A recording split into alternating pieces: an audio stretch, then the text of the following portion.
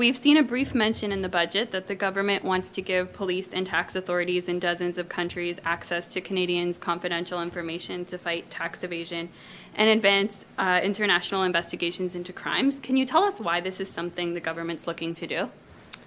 We've, uh, we've been working together with international partners through the OECD to make sure that we have the ability to deal with, uh, with tax challenges, people trying to avoid or evade taxes.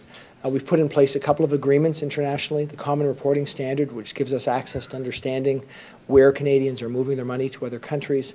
Uh, also to make sure through what's called base erosion and profit shifting that companies uh, have their profits and their revenues in the same jurisdictions. Uh, so that they can't actually put their profits in a place of, of low tax and their revenues in a place of higher tax, thus reducing their tax, uh, their tax implications.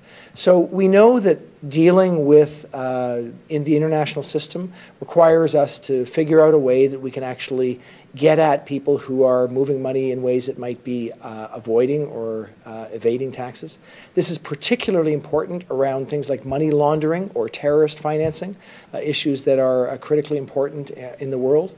So we believe that this sort of effort is, uh, is one that's advancing our cause of ensuring tax fairness and ensuring that we don't have people doing things that, that might be quite inappropriate in terms of things like terrorist financing or money laundering.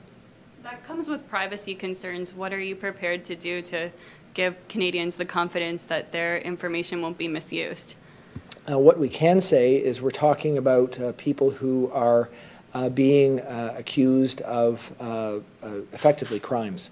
Uh, so we are, we are looking to make sure that we have a system that can deal with people that are doing things that are inappropriate in a way that respects all of Canadians' uh, rights and freedoms, which we, uh, we will uh, obviously continue to do.